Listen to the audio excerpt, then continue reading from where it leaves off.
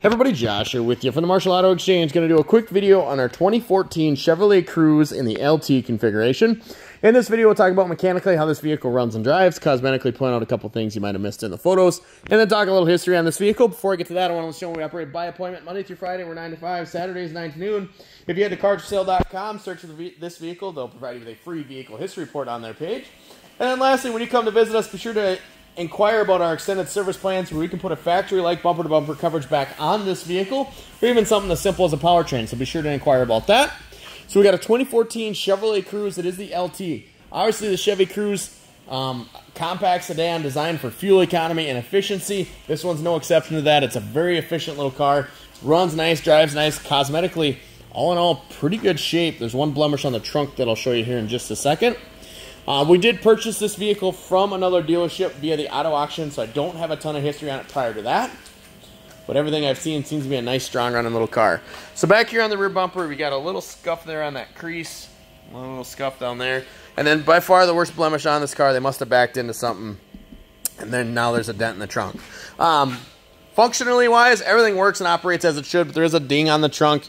We tossed around the idea of just finding a used trunk to replace it with, but then, you know, decided, you know, it's a 10 year old car, it's got some miles on it. So if that is something that really bothers you, it is something that could be remedied, but I guess on a used car, it wasn't something I was super concerned with. Outside of that, all in all, pretty nice car. Little bubble right there. Other than that, very nice little car. Runs nice, drives nice. I've driven it around a little bit.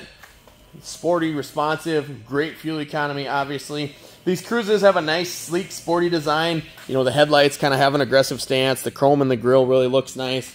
And then just the chrome accents and painted door handles and mirror caps really just kind of complete the vehicle. It's just all the way around, they're very a uh, nice, complete vehicle. Good tires on here yet. Obviously, being a smaller sedan, there we go. Obviously, being a smaller sedan, there's not going to be a ton of legroom in the back. Um, now my detailer, for whatever reason, slid the seat all the way back. I mean, once you get it to like, so that's about halfway, and I'm 5'6", that's where I would sit. You still have legroom back here.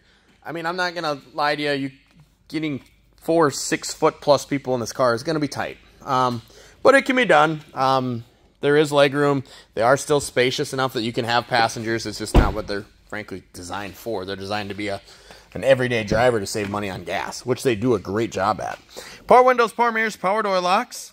This one does have a power driver seat. There's a little tear in the seat, but again, it's a 10-year-old car. It is going to have some cosmetic imperfections. Let's check the key.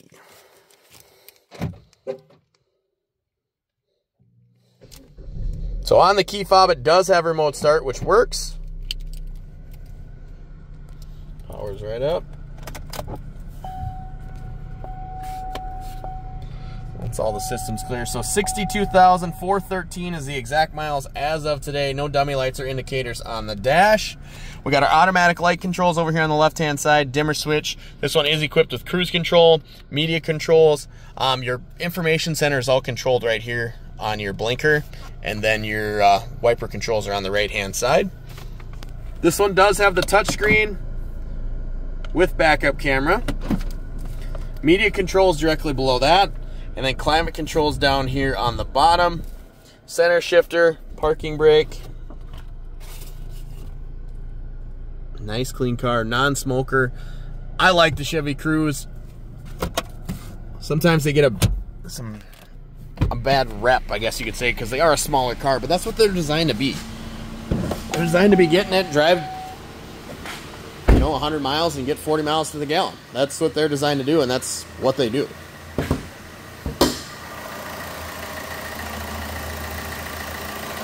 There is that little Ecotec motor. It is a 1.4 liter. Nice strong running motor. No knocks, no ticks, drives nice, shifts nice. If you're interested in taking a look at our Chevy Cruze, you can reach us at 507-531-AUTO. That's 507-531-2886. You can find this vehicle and all of our inventory online at marshallautoexchange.com.